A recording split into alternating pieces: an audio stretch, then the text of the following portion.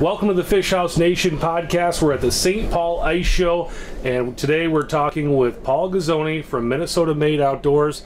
And Paul, what we really want to talk to you about today is the Panfish League, Minnesota Made Outdoors. You've been on the podcast before talking some different tips and techniques, but we want to talk about what it is that you do in ice fishing. Sure. Tell us a little bit about yourself first. Yeah, man. Well, thanks for having me, Chris. I appreciate it. Um, anytime we have a, t- a chance to uh, talk, talk about Minnesota Made and kind of what we're doing as a, as a group, um, appreciate it. So thank you for that. Um, so a little bit about me. Um, I am uh, a tournament director.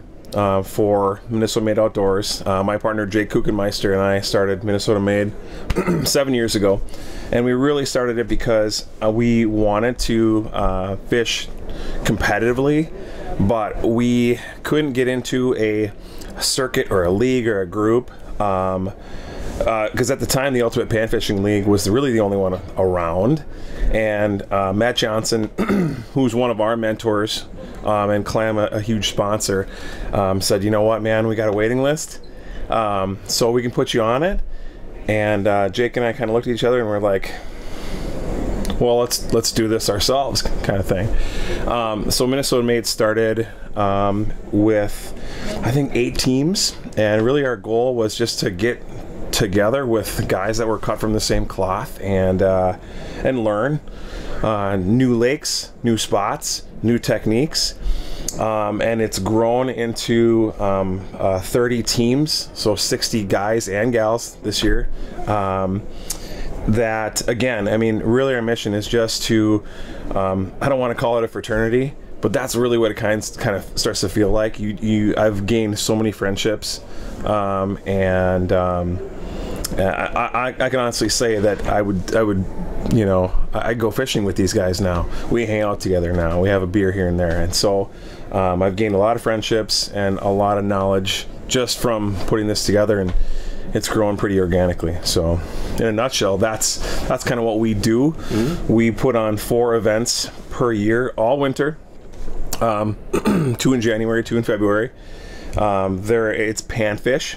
So we target uh, crappies and bluegills, and um, the goal is to bring um, seven crappies and seven bluegills to uh, a weigh-in, and we see where we stack up against our competition. So um, it's uh, oftentimes you got to be on that lake for uh, a day or two if you're lucky beforehand to kind of scout spots. Um, you know, talk to uh, your, your partner because there's teams of two, and oftentimes you're fishing together. But sometimes, you know, I got to get out on Saturday when my partner can't he's like, I can get out Friday night from four to eight, and and then you just kind of compare notes. Um, but best case scenario, you're kind of dissecting and looking at things together, and going, okay, where do we where do we give our chance or give ourselves the best chance to uh, catch some quality panfish? Um, and then at the end of the event, we have a live weigh-in on Facebook. So um, you can find us on just by searching Minnesota Made Outdoors, um, or you can go to minnesotamadeoutdoors.com, um, and we will will essentially broadcast what took place that day. And so guys bring their fish to the table, we weigh them, we talk about what worked, what didn't, we poke fun at each other because we're friends. Um, and uh, nothing ever goes particularly as planned. There's always a, a hitch, um, and uh, and really that's kind of where um, you go to bat for each other and uh, fix the sled if it gets broken down on the ice, or you know, help a guy out because he ran out of plastics or whatever, whatever it is. So um, that's in a nutshell. That's Minnesota Made Outdoors is. Um, but I've got more that I want to talk about and one more plug. But I'll let you I'll let you take the conversation back because I'm, I'm talking too much. Well, uh, we were. I was actually going to talk to you about that Facebook way, and I've got a couple of friends in the league, so I like to watch. Who are they? Alan Mario. Alan Mario. That's right. Yeah, Alan Mario. And they will be on the podcast as well. I already in- interviewed them this morning. Cool, man. But uh, and they mentioned we actually talked a little bit about the league then Okay. in, that, in that conversation as well. They're awesome dudes. But uh, I really like watching your way, and just because there is so much interaction, and you guys are giving each other grief, and Yeah. it, it's it's fun to watch. There's a lot of people doing Facebook lives for those types of things, Yep. and a lot of times it's really stale and it's not very fun to watch. But Yeah. yours is really fun to watch. It's a challenge because if it's negative 20 and guys been on the ice since 7:30 in the morning, sometimes you know the, the bite's tough. You got to you got to try to keep it light a little bit, and that's that's really the challenge. But we do our best to um, highlight the guys in the league, man, and that's what makes it special is the guys. Tell me about some of the guys. Oh man, um, it's it's interesting because there's we have a lot of uh, a lot of great anglers. Um, um, the first guy that comes to mind uh, is a buddy of mine. His name is Leif Nerson. I've been fishing since Leif when, uh, with Leif since we were kindergartners. Um, so he's you know I consider him one of my best friends. Unfortunately, he's not my partner. He's got another partner, uh, Nick Mueller, and they're. Um, They've been a huge staple in our league uh, for many years. Um, Jack and Jeremy are our two-time defending team of the year. They're they're um, young, they're smart, they work hard, and they're tough to beat because they spend a lot of time. They're dedicated to to learning, and and I mean. I picked it up somewhere, sometime from someone. The difference between professionals and amateurs is time Right. and I believe that. Um, obviously, if you're learning um, at the same time, but um, a couple of guys that um, I respect, uh, Dan Rawlings and Scott Borsma. Um, hopefully, they listen to this. Um, I've uh, it's they're another team that's tough to beat. Um, I love talking to those guys. I've learned a lot from them. Um, man, I'm missing a bunch, but we've got guys that have been with us for a long time um, guys like Tony Dahlberg and Kyle Rick, who've been with us for I think four or five years, and then we pick up um, probably four or five new teams a year just because life happens, and guys need to not commit themselves to doing that. Four weekends out of the year, and and uh, you know they have new baby or move or want to fish walleyes or something like that. So uh, we've got the gamut of um, what I would call competitive, experienced tournament anglers, guys that are there to have fun, um, father son teams. Um, that I mean, man, I wish I could get out on the ice with my dad. Right. Um, he never gets out on the ice with me. I'm making a point to get out uh, with him this year, but um, and then we've got for the first time this year a uh, husband wife team so that's going to add a really cool dynamic i think and sarah joe is a member of the women anglers in minnesota um, so just I, things are really starting to, to really spread out and blow up Yeah, a lot of cool stuff. One thing I want to ask you about last year, I fished a tournament for the first time, and I would consider myself a very average angler.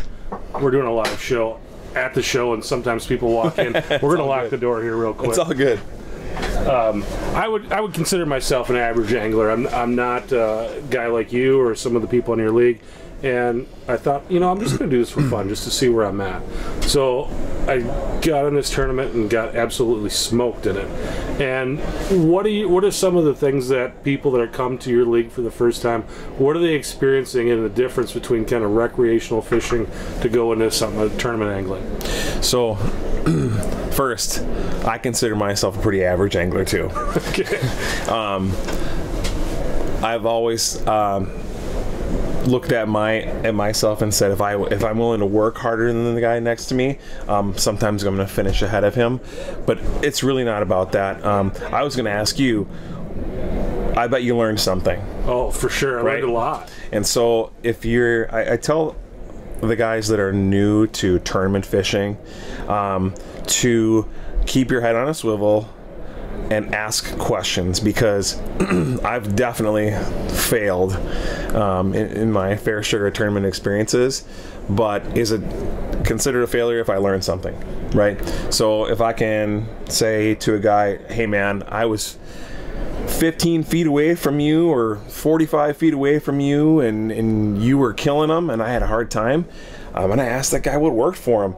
Some guys will tell you exactly what it is. You know, I'm using a four mil drop kick and, a, and an orange panfish plastics, and I and I'm going, huh? Well, I'm, i should probably switch to plastics from meat, or I should have made that switch. Um, some other things that that I guess um, have ha, I have learned um, chasing panfish is that you do not need to fish basins.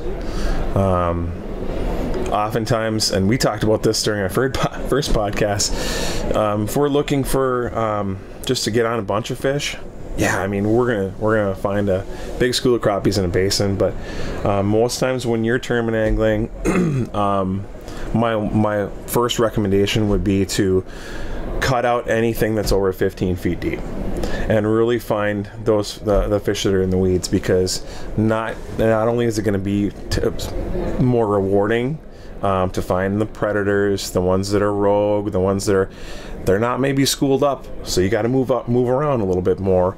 Um, but I think the quality fish are shallow, to be honest with you. Um, and then the other thing is, don't shack up. Get a good suit, a good pair of boots, tie four rods, get your hand warmers out, be mobile, and move. Um, and deal with it. Right. Um, because if you're willing to put the time and the effort in, you're you're gonna do way better than well. This is the spot, man. We're gonna shack up here, and they're gonna come and go. That that's true. Mm-hmm. But um, to to consistently catch fish all day, and and mind you, 99% of the fish that we're catching, we're putting back. Um, but you gotta you gotta stick and move. I mean, that's that's the name of the game. Yeah, I think at least for me, when I'm out fishing for fun, I like to do that. I like to go somewhere and kind of hang out. Once I find the fish, I'm going to stay there. But right. I'm not on a time clock, and that's the tough thing about this tournament angling is Good that point. you've got seven hours, Good and not point. only do you got to catch the 14 fish, but you got to catch 14 good ones. So you're you're sorting through fish and getting the ones that you need to get to the weight you need. And that was the other thing that was really startling for me and my partner was you know, we thought we had some pretty nice bluegills. We weren't there as far as crappies. We had a couple good ones, but mm-hmm. we weren't able to really fill our crappie bag the way we needed to. But we didn't know what our bag weighed until right. they put on the scale, and we're like, wow. Right. If that's what that weighed, the guys who won this thing must have had just studs in there, and, that, and that's kind of the thing that separates the people who are really good at this to the people who are like me. Yeah, I think that um, if you talk to, and I do, I talk to people who are good um, that I've seen have success on uh, different tournament fronts, um, and I ask them like, "What are they doing?" And a lot of guys will will say, "Well, are you fishing on on the day before the tournament?" Um, and I go, "Well, yeah. I mean, I want to see what's there." And they go, "Well, I don't wet a line on Saturday." You know, I'm I'm gonna stay disciplined and do my camera work. I'll drill a hole just for the camera and I'll see what's there and I'll move and I'll make my mental notes. Uh, or maybe I'm just looking for the right kind of weeds or the right structure, whatever it is. Mm-hmm. Um, but I think, uh, yeah, I mean, if you're if you're willing to spend the time and you're willing to talk to people and ask them, you know, what works for them, you're gonna learn a ton, and that's the value of it. Yeah. You're gonna learn. And if you if it takes you a year to give, of getting your butt kicked or two, in my case, uh, you know, and you apply the knowledge, it can be it can be rewarding. And that that was another thing that was startling for me. And, and you said, "Did you learn anything?" And and I did. And the thing that I learned, I'd never really fished with an underwater camera. Yeah. I was just using sonar. Right. And that's what those guys are doing because they're not wasting time fishing on small fish where I drop my sonar in, I see marks. It's going to take me 10 minutes to figure out the fish I'm looking for aren't True. there. True. But those guys are dropping the camera down, they take a look around. Right. The fish that we're looking for aren't here, and then they're moving on, which was cool to see. Right. And, and that was one of those things that you learned like, all right, if I'm going to do this, you need a camera to be able to see what's going on. It's true. Um, without without an underwater camera, you're you're handicapping yourself. Um, there, trust me, there are guys who've done really well without one. They've been in the right spot at right time, or they knew the lake really well, and they had you know they were fishing memories, and it worked that day. Um, but I, you know, just like I won't leave home without my Vexilar, I'm not leaving home without my camera either. There's one thing that um, you know um, I would say don't overlook um, because you're not going to camera every fish that's there. Most people drop their camera down to the bottom of the, the column. I try to work it all the way down. Um, you know, those high flying fish, sometimes those are the ones that you go right past. They're outside your transducer cone angle, and sometimes you do have to fish two, three feet underneath the ice to see what's truly there. Mm-hmm. So I would just, that's another thing I would say is don't overlook that. Yeah. So we've been talking kind of tournament angling in general for the last five or ten minutes, but I want to take you back, take us back to Minnesota Made, and what's you know you guys have been doing it for eight years now. What has the evolution of the league been like from year one to starting up here this season? Well, obviously it gets com- more competitive every year because guys um, have more knowledge, um, uh, or they they just want it more. um, evolution of the league really um, there's been a huge uh, change in sponsor sponsorship and support and that's really good for our guys um, but really our goal um, which is finally starting to come uh, to realization. Uh, Jake and I have been looking for um, a, just a, a greater cause to partner with for several years, and I can't tell you how many times we've met and said, "What are we going to do? Who are we going to partner with um, to uh, help in our in our area or use whatever influence we've got to for a greater cause. Um, and i think we finally found it this year with hometown hero. Um, and so um, when it comes to the league um, progressing that's the way we look at it. We look at it as a group of ambassadors who are trying to do things the right way um, teach our youth understand and teach selective harvesting. But then um, with Hometown Hero, we're going to be partnering with a local um, group of veterans and law enfor- retired uh, law enforcement officers, and we're going to be taking them out on the ice this year um, and showing them the tournament experience from our perspective. Um, so, Hometown Hero is a we're obviously partnering with their Minnesota chapter, but they're in seven states. Um, they're a huge group. I want to say they're right around 5,200 members. Um, they're here today. I've connected with a bunch of guys. Tony Tessing and uh, Andy Groff are are guys that we met with and um, just said, "Hey, this is we want to give to your organization." We've got potentially 60 volunteers who can take you guys out and fish. And on February 1st, which is the Saturday right before Super Bowl Sunday, um, we're taking them out to Green Lake in Princeton, and we are going to do our best to roll out the red carpet for them and set up a, a wonderful tournament experience so they can come out, catch bluegills and crappies, and hopefully a couple bonus fish, and um, reward them with you know some prizes from some sponsors. Traeger's coming out to cook for us. It's gonna be it's gonna be awesome. So if anybody's listening to this, that would be my that would be my plea. If you're interested in giving back, um, or have the ability, you know, with your company or somebody that you know, um, contact me. um, you can find me on Facebook. Last name is Ghizoni, G H I Z O N I. Um, or reach out to Minnesota Made Outdoors and say I want to be involved because we're trying to really show these guys a great time.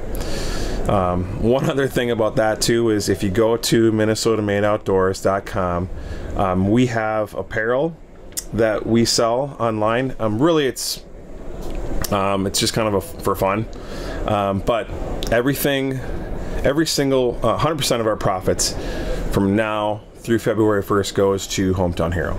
So um, if you're looking for Christmas ideas, that's where I'm sending you. Awesome. So So, what lakes are we fishing this year? Tell us about the schedule. Sure. Um, we will be on Chisago. Uh, I've never I've never fished it. The uh, the state championship through Frankie's has been there. Um, there's a lot of fish there. It's going to be a fun time. Um, second tournament is going to be south on something called Mazaska. Um, again, never set foot on it. Looking forward to learning something new. Our third event is Green Lake in Princeton, and our last event is on Clearwater. How do you choose those waters? We vote as a league, um, but really what we need is space. Um, we, we choose them based on uh, how big is the access, uh, where can we fit potentially up to 60 vehicles and trailers. Um, because if you've ever seen 60 four wheelers or snowmobiles or side by sides leaving access, it can be a spectacle. Yeah, you can watch that on your, Uh, you on can your watch Facebook that too. as well. You can watch that. Um, but really, it's just about safety, size of lake, um, and you know where we're not taking up the entire lake because we don't own it. We're not there to do that. Right. So- what what event are you looking forward to most, other than than the one you just talked? Yeah, other than hometown hero, um, I'm lear- I'm looking forward to to learning um, and looking at Mazaska more. Uh, but Clearwater is is can be awesome. It can be a cold, cold, you know what, but it can also be really rewarding. It's a big lake. It's big gets big fish, um, and it can it can be that can be a really fun one. Awesome. It can be tough, but it can be fun. There's something you wanted to share today that we didn't get a chance to talk about. Uh, no, man, I, I appreciate you giving me the opportunity to, to chat and give you the hometown hero plug. We're super excited about that. Um, no, um, I'm thankful to just be down here representing some of our sponsors today with Clam, Thorne Brothers, Kenders, um, Vexilar. Um, shout out to everybody that's helped us out uh, throughout the way, um, and you know keep watching. Look at Minnesota Made Outdoors. Reach out to us if you have questions, and we're happy to help any way we can. Awesome. Thanks, Paul. My pre- hey, my pleasure. Yeah, thank you, Appreciate you Chris. I appreciate you having me, man. Thanks for listening. Thanks for watching. We'll talk to you next time.